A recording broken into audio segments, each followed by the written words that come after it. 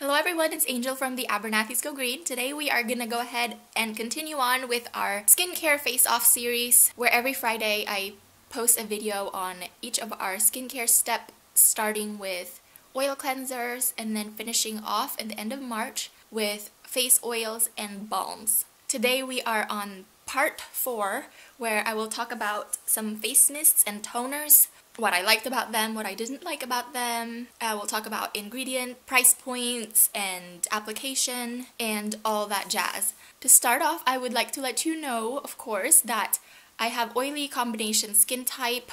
It tends to be a little bit on the dry side during the winter, especially on my cheeks. And I have really oily T-zones no matter what season we're in. I feel like I'm just always oily there.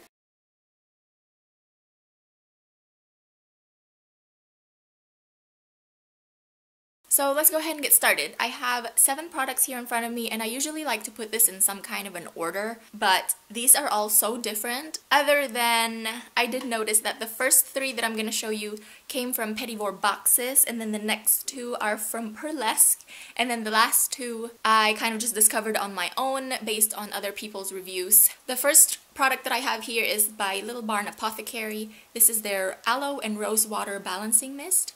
I did get this in a Petit box, so I have this little one ounce bottle here, but this is available for purchase on the Petit website. They have a two ounce bottle, so twice as much as this, for $16, and then the four ounce full size bottle is in a glass bottle it looks like, and it's $32. And they say that this is a supercharged, replenishing, and nourishing facial mist with added benefits of natural botanicals, rose, aloe, hibiscus, and witch hazel. This unique combination provides the skin with antioxidant protection, known widely to assist in supporting the skin's own collagen production. And they say here that you can spray as much as you like all over your face, neck, and body. It can be used anytime, perfect as a makeup setter and refresher throughout the day.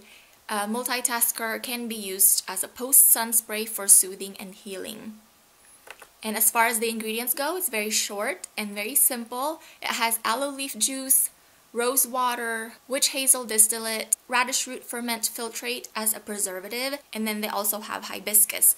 This is totally empty, but the liquid in here is like a light pink color. I'm sure from the hibiscus. If you've had hibiscus tea, whenever you make that tea, it turns into like this beautiful hot pink color. So I'm sure that the pink that we get from this is from the hibiscus. So as far as my experience with this, I didn't find this to be ultra hydrating, nor was it drying either.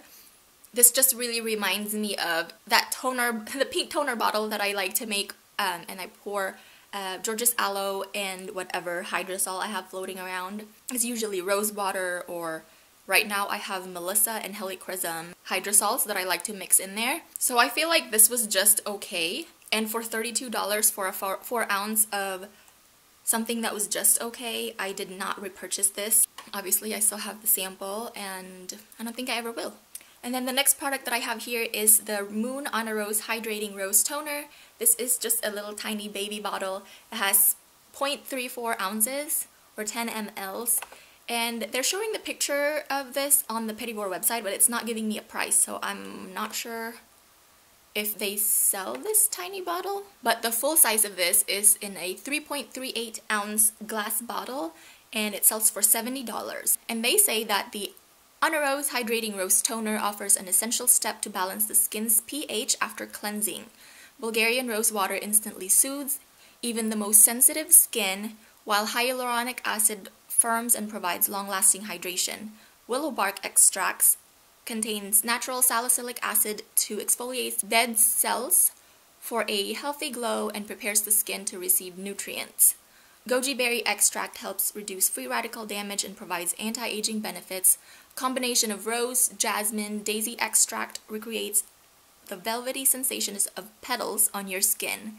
They also say that this toner has a pH range of 4.5 to 5, which is perfect for a toner because our skin likes to be a little bit more on the acidic side. And they say that after cleansing the with the Active Purifying Cleanser Pat Skin Dry Spray Toner on a cotton pad and generously sweep over the entire face, gently exfoliating skin. As far as the ingredients on this, this has rose water, aloe leaf, prickly pear, stem cells. It has the goji berry fruit extract, hyaluronic acid, willow bark, um, rose flower extract, jasmine flower extract, daisy flower extract, xanthan gum, glycerin, dehydroacetic acid, benzyl alcohol, maltodextrin, and deionized water. So I really wanted to love this because I've heard so many positive reviews on especially the Aqua Purifying Cleanser and I almost bought the Aqua Purifying Cleanser and this, the full size of it, because of all the positive reviews that I've heard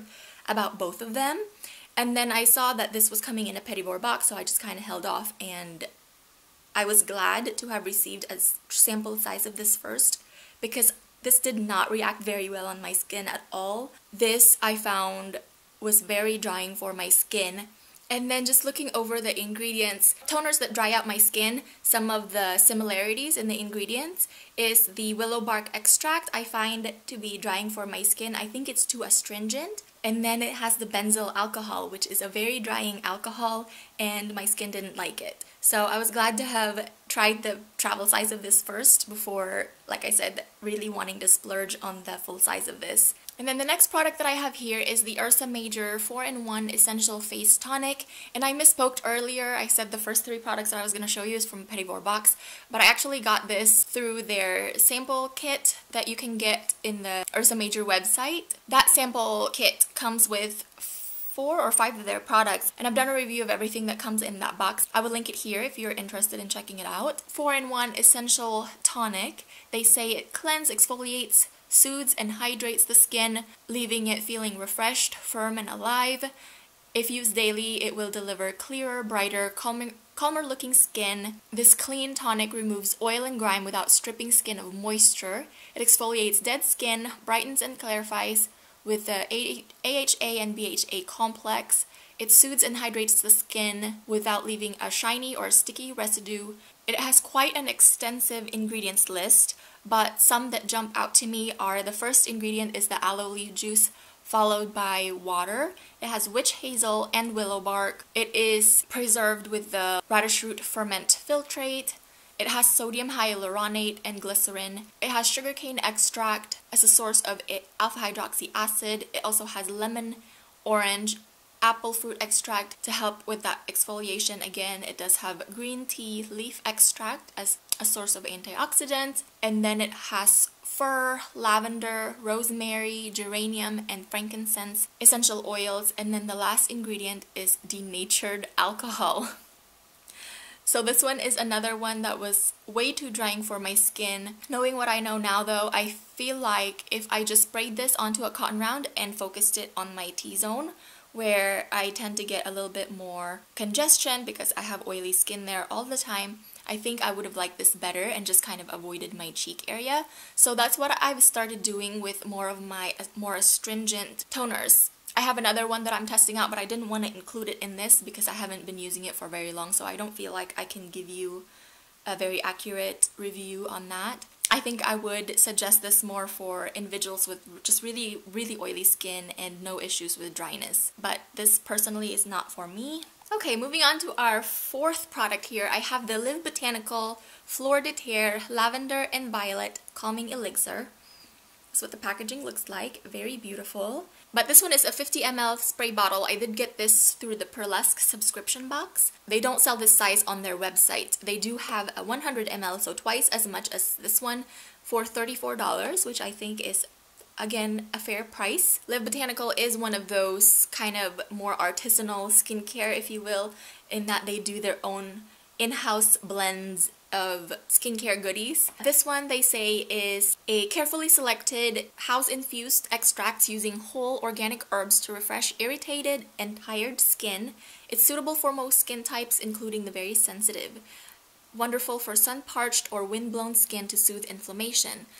The scent is herbal and citrus, slightly reminiscent of lavender lemonade.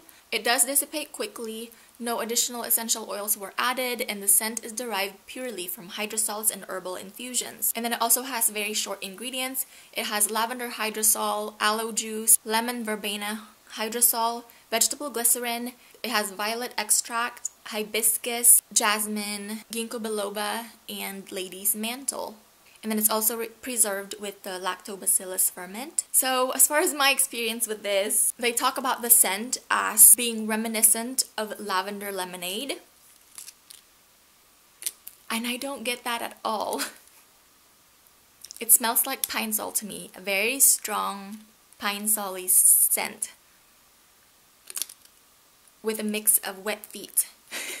and I really hate saying that, but that's what I get from it. I've watched two other YouTubers that absolutely love this and they say that they get that lavender lemonade, but I don't. It smells like very strong pine sol. So we all have different noses and that's really what I'm picking up. And every time that I sprayed this to my face, I feel like it's way too acidic it kind of kind of just stung my skin. I started thinking like maybe my skin is just too sensitive, it's going through something. But it even says here that it's suitable for most skin types including very sensitive. But I really didn't like this either. I didn't find that it was hydrating enough. I did get two other products from them that came with this in the Purlesque box and I love, love, love them. Um, one of them is the resurfacing, overnight resurfacing oil and I absolutely love that. And also the honey exfoliating mask that I absolutely love also. I know I've done a review of that here on my channel and they are like 100% repurchases, but the toner did not work for me and I'm just kind of very sad about that. So that's like four toners that we've gone through and I've not liked any of them really. But rest assured that the rest of these, the final three that I have here, my skin did like. So let's go ahead and start with this Modicum skincare. I also got this in a Purlesque box. Um, I did an unboxing and kind of like a first impression review of this. This is the Modicum Skincare Birch Tree Water Spritz. This is the full size that they sell on their website. It is one ounce and it's $22 for this one ounce bottle. They say that it's not just another spritz, it will replenish your skin cells with essential nutrients, promote cellular regeneration, and restore your skin's vitality.